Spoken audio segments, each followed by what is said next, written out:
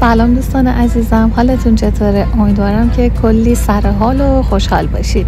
امروز یه سفر کوتاه داریم به نیشابور. این مسیر 118 کیلومتر از مشهد فاصله داره و حدود یک ساعت و نیم تا دو ساعت باید رانندگی کنیم تا به اونجا برسیم. نیشابور دومین شهر بزرگ استانهای خراسان پایتخت تاهریان، پایتخت سابق امپراتوری سلجوقی و از شهرهای جاده ابریشم قدیمه. دوستان عزیزم چهار ستون آجوری که اینجا می‌بینید نمادی از چهار دروازه تخریب شده نیشابوره که در ورودی بولوار خیام قرار داره این اثر در تاریخ 16 شهریور سال 83 به عنوان یکی از آثار ملی ایران به ثبت رسید نیشابور یکی از مهمترین مراکز تاریخی گردشگری و صنعتی خراسانه که نقش پررنگی رو در تاریخ، تمدن و فرهنگ ایرانی داشته. توی این ولاگ با همدیگه سری می‌زنیم به آرامگاه خیام، آرامگاه عطار، کمال الملک و امامزاده محروق. ازتون ممنونم که اینجا دو ویدیوهای من رو تماشا می‌کنید و با like و subscribe تون ازم حمایت می‌کنید. لطفا تا انتهای ویدیو همراه هم باشید تا با همدیگه همه این مکانهای دیدنی رو ببینیم.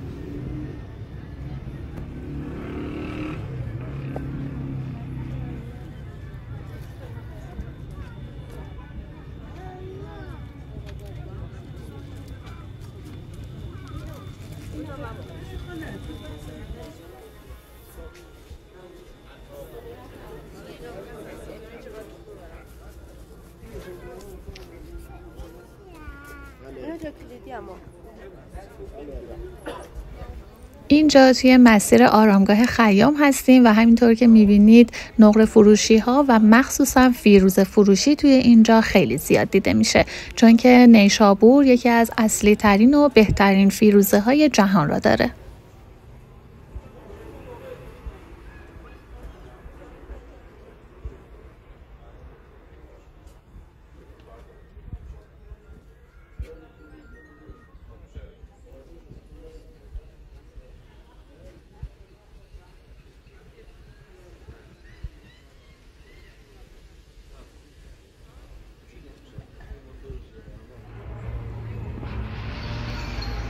آرامگاه عمر خیام از قطبهای گردشگری نیشابوره که نماد این شهر هم هست و نمونه برجسته معماری نوین ایرانیه که طراح اون هوشنگ سیهون هست که در شش شهریور سال 1341 این بنا تموم شد.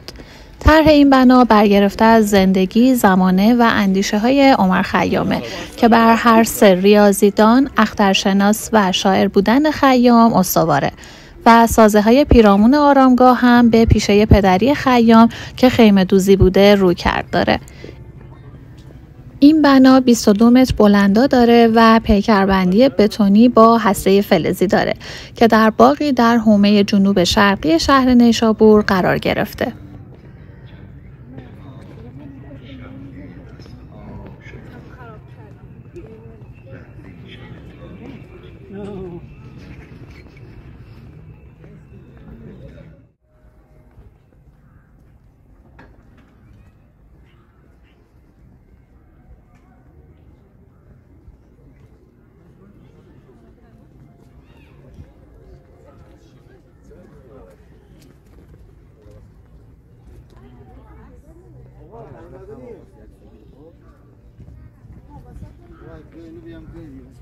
شخصیت بچه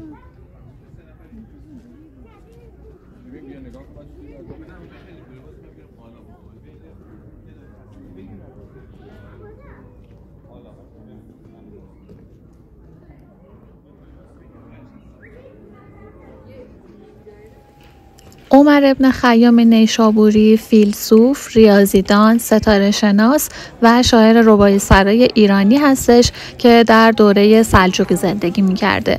رباعیات خیام شهرت جهانی داره و به بیشتر زبانهای دنیا ترجمه شده.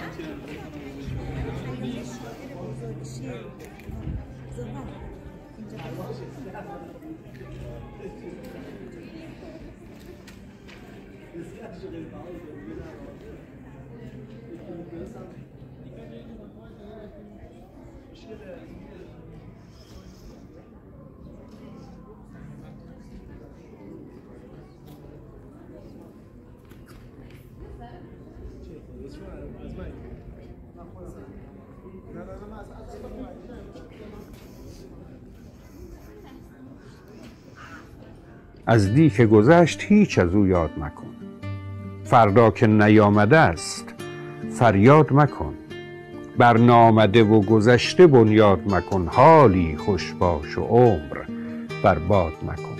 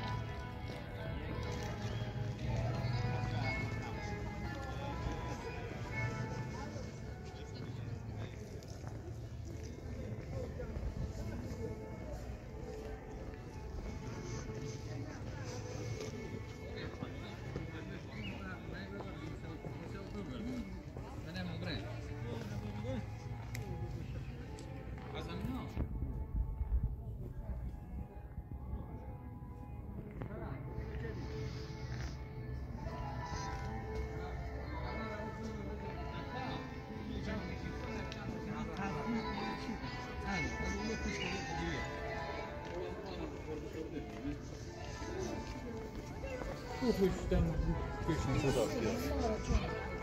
Ne mi? Ne biraz kirli, kirli,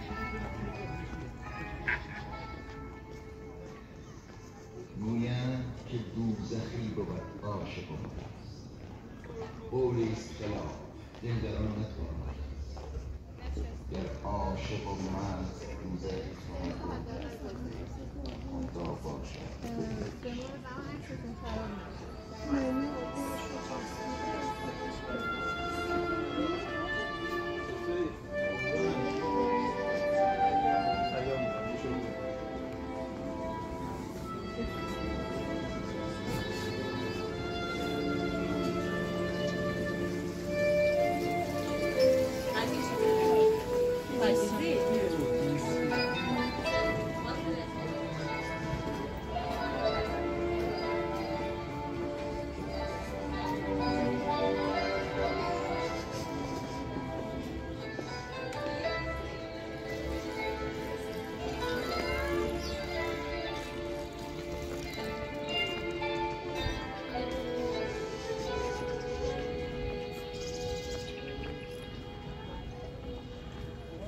غم آن خورم که دارم.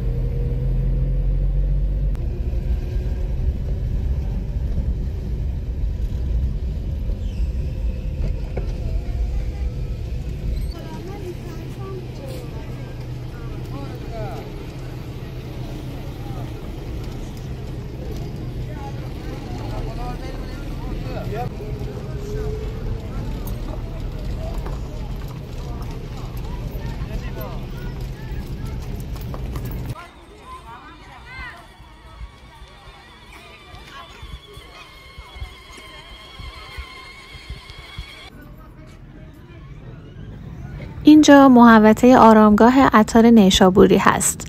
فریدالدین ابو حامد محمد عطار نیشابوری مشهور به عطار نیشابوری یکی از عارفان، صوفیان و شاعران ایرانی هستش که اطلاعات دقیقی از زندگی ایشون وجود نداره. عطار در نیمه دوم قرن ششم و ربع اول قرن هفتم زندگی می کرده و با علوم مختلفی مثل قرآن، حدیث، فقه، طب و نجوم آشنایی داشته. ایشون زندگی خودشون رو در نیشابور گذروندن. عطار نیشابوری از پدرش داروسازی و داروشناسی رو یاد گرفت و به کار عطاری و درمان بیماران می پرداخت. آوازه شعر اون در روزگار خودش از خراسان گذشته بود و به نواحی غربی ایران رسیده بود و حلقه درسای عرفانی عطار بسیار گرم و پرشور بود و خیلی از بزرگان عصر خودش در اون حاضر می شدند. درباره پشت پا زدن عطار به مال دنیا، گوشگیری و تقوا پیشه گرفتنشون داستانهای زیادی گفته شده. عطار در سال 618 هجری قمری در زمان حمله ها و به دست سربازان مغول کشته شد و تمام آثارشون سوزانده شد و آثاری که امروز موجوده آثاری هست که قبل از حمله مغول به سایر شهرها برده شده بود.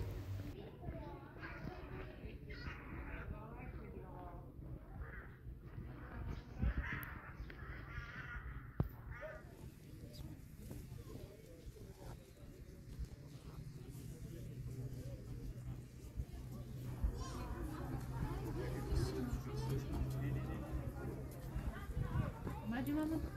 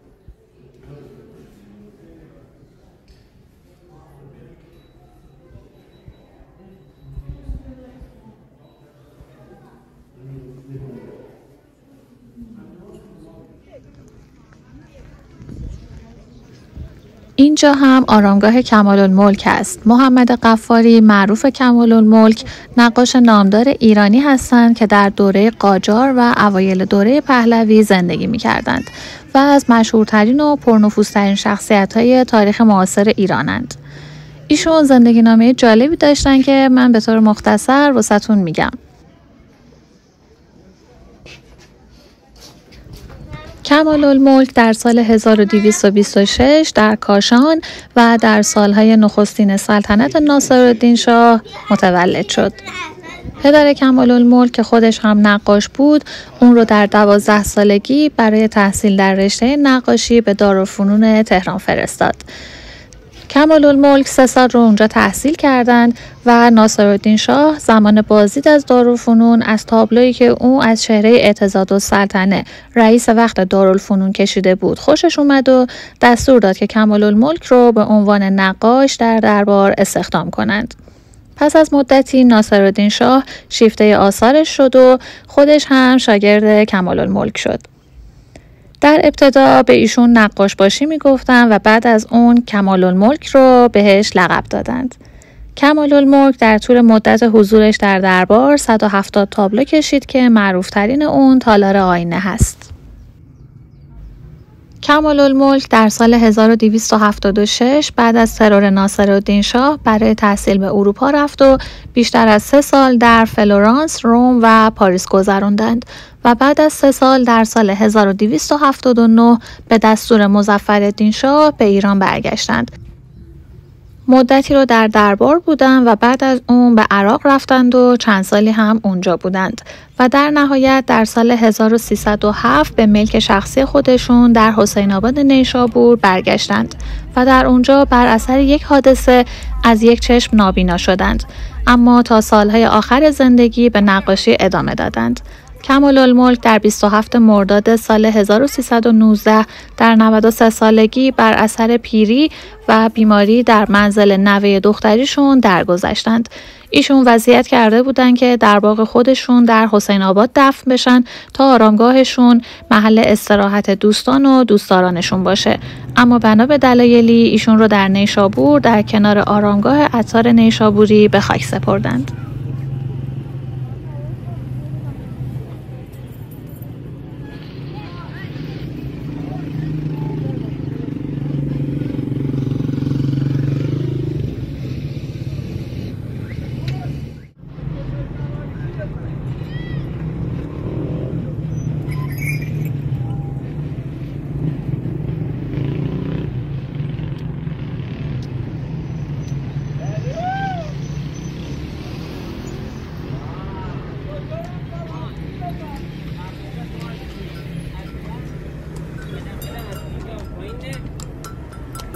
قربانم به خبره.